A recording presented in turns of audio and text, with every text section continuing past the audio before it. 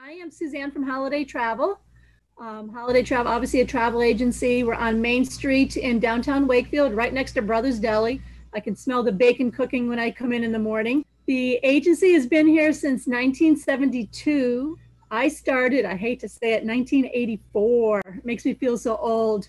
Um, same location, nothing has changed. Um, I'm not a big one for change, just a change. Um, we do pretty much anything that you want to do we do your motor coach tours. We can do airfare, hotel, car rental, cruises, vacations to Disney or the Caribbean or Europe, you know, pretty much any place that we can help you with. I can remember really nine or 10 years old, laying in the grass, looking up at the sky and seeing a plane fly by and say, I want to be a flight attendant.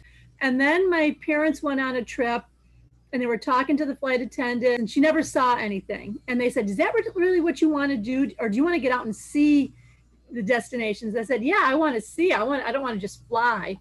So i went to school um, i went to endicott i got my um, degree in travel tourism and i didn't want to become a travel agent. I didn't want to sit behind a desk. I wanted to be out out moving around. Behold um, i ended up started at crimson travel um, as just an office person. And came to holiday travel here in 1984 and I've been here since and I love it. So for the first three, three and a half, maybe almost four months, um, I was out straight busy, but refunding people, fighting for their refund. Um, and then actually July 1st, I pivoted a little bit and I started traveling.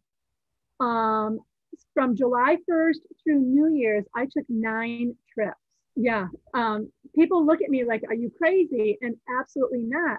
I could have never ever ever done that if it wasn't for the pandemic. Yeah so that's what i did. I pivoted and i did a lot of travel and it's paying off now. Put yourself out there. You have to network. People have to know you. You need to get out there. You need to walk main street. Stop into another business say hello introduce yourself.